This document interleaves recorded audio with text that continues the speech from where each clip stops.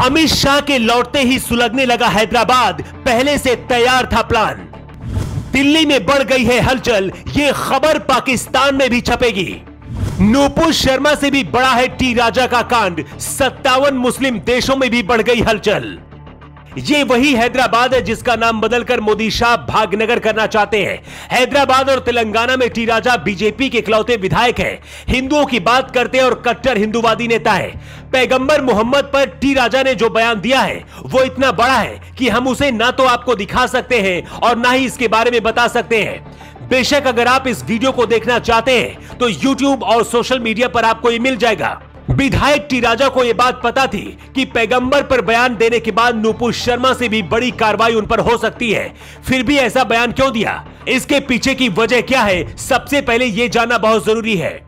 21 अगस्त को हैदराबाद में stand up comedian Munawar Faruqui का शो होना था। मुनव्वर फारूकी कई बार अपने शो में हिंदू देवी देवताओं का मज़ाक बना चुके हैं और आपत्तिजनक बयान देने के आरोप भी लगते रहे मुनव्वर का शो रुकवाने के लिए विधायक टी राजा सिंह ने ऐलान किया था, लेकिन मुनव्वर का शो तो नहीं रुका, लेकिन उसी दिन हैदराबाद पुलिस ने विधायक टी राजा को प्रिवेंटिव कस्टडी में ले लिया।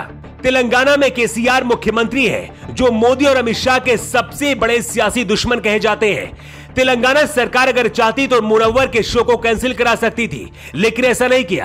करीब एक हज़ार ऐसी ज़्यादा पुलिस कर्मियों को भेज कर मुनव्वर फारकी के शो को कराया गया। लेकिन असली बवाल इसके बाद होना बाकी था। ये सब कुछ जब चल रहा था, तब अमित शाह भी हैदराबाद में ही थे। अमित शाह के दिल्ली लौटते ही बीजेपी विधायक टी राजा ने एक वीडियो बनाया और यूट्यूब पर उसकी अपलोड करते ही हैदराबाद में तूफ़ान खड़ा हो गया। इस वीडियो में पैगंबर मोहम्मद पर विवादित टिप्पणी की गई थी। ये बयान नुपुर शर्मा के बयान से बहुत बड़ा था। कुछ घंटे में हैदराबाद में हर तरफ़ बवाल होने लगा। मुसलमान घर से बाहर निकलकर सड़कों पर आ गए और पुलिस स्टेशन पर भी हंगामा करने लगे।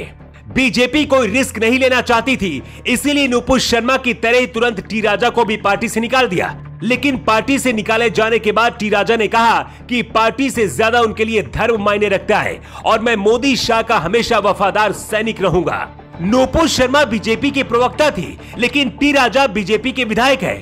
इससे पहले भी खुद को हिंदुओं का ठेकेदार साबित करने के लिए टी राजा कई बार विवादित बयान दे चुके हैं। लेकिन हैरानी की बात यह है कि इसके बाद भी पूरे तेलंगाना में सिर्फ़ बीजेपी का एक ही विधायक चुना गया और वो है टी राजा। पैगंबर पर विवादित बयान देने के बाद नुपुर शर्मा की छवि आम जनता के बीच हीरो वाली बन गई थी।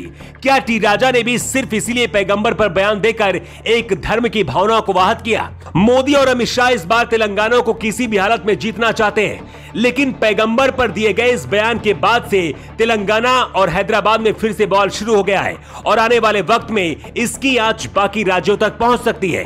हैरानी की बात यह है कि जहाँ एक तरफ़ विधायक के बयान का विरोध हो रहा है, वहीं कुछ लोग टी राजा के साथ भी खड़े दिख रहे हैं। लेकिन टी राजा ने पैगंबर को लेकर जो बयान दिया है, उसे लेकर आपका क्या कहना है? आप अपना जवाब कमेंट बॉक्स पर ज़रूर दें।